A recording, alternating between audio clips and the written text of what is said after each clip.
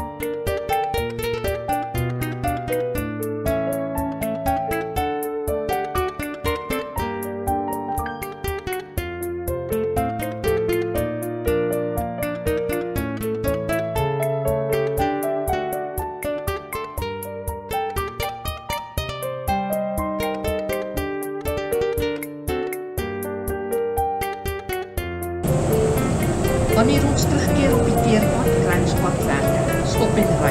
So wees maar versigtig indien jy reën weer kry op hierdie roete. Aangesien daar ook skerp draaie is en sig swak wagte is. Kyk uit vir die majestueuse kraanse met hul indrukwekkende vorms. Hierdie is werklik 'n roete wat jy moet aanpak indien jy dit nog nie